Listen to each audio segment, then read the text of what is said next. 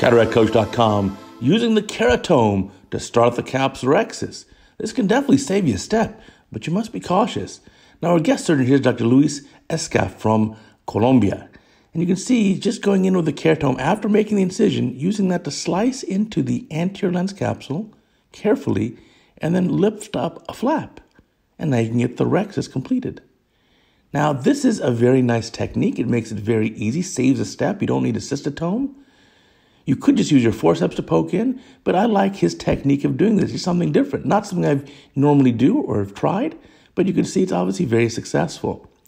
Keep in mind that Dr. Escaf is a highly experienced surgeon. And the main issue here is if you're a beginning surgeon and you're doing this, you have to be careful not to inadvertently enlarge your phaco incision. So if you go in the eye so far with the keratome and then you come out in just a slightly different path or hit the side walls of your incision, you'll inadvertently widen the incision. So here's where the keratome goes in again, and you can see cuts underneath it, and then using that to flip it up. And he's got fantastic control here. And he's able to really continue it even just with this, the tip of the keratome. Tear that rhexis and then switch over here to forceps. Notice how he's very careful though when he comes out of the eye.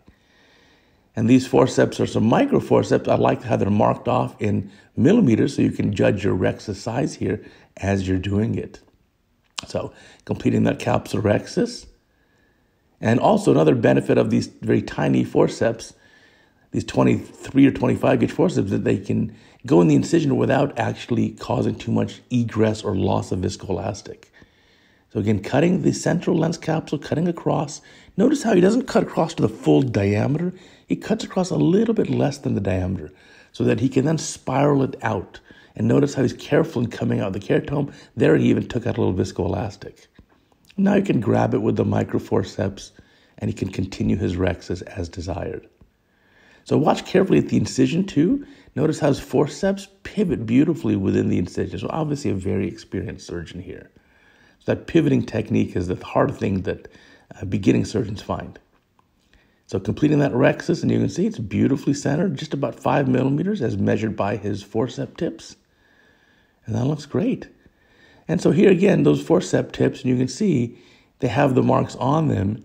And so you can judge as you create this rhexis, what size do you want?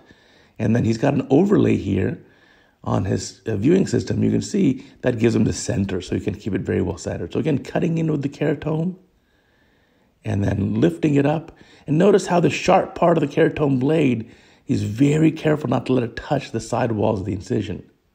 So normally when I tell you to use the keratome to make your incision, I always say only go in when you make your incision until the widest part of your blade has entered or pierced Descemet's and then come out and, re- and retract the blade. Because if you come in too far and then you come out at a slight angle, what'll end up happening is you'll end up enlarging the incision. But you notice every time here, he's very careful. And when he comes out of the eye of the keratome, he is very sure that it's not enlarging his incision.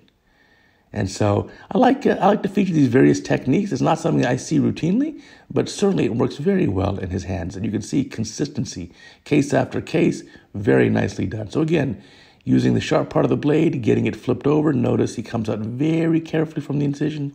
Also look at the tear. You can see on the capsule that he sliced across to less than the full um, radius. So he's cutting across to maybe 70% or 80% of the radius that he the desired radius and then spiraling it out. So again, same thing here. And again, you have to be careful in coming out of that incision. And then you could create your capsulorhexis here. And then remember, we always talk about what's the mark of a your signature you leave on the eye. On every eye, you leave a mark, and that is your incision and your capsulorhexis. Those are the important things you leave on every eye, and every surgeon in perpetuity, forever, will be able to look at this eye and see what was your incision like and what was your rhexis like. So really take pride in this step. All the corneal edema will resolve, but you definitely want to have a beautiful rhexis and incision. And this technique, if you're having trouble, or if you want to try with your own technique, or you want to try a new technique, or maybe move away, away from that cystotome, you can try this.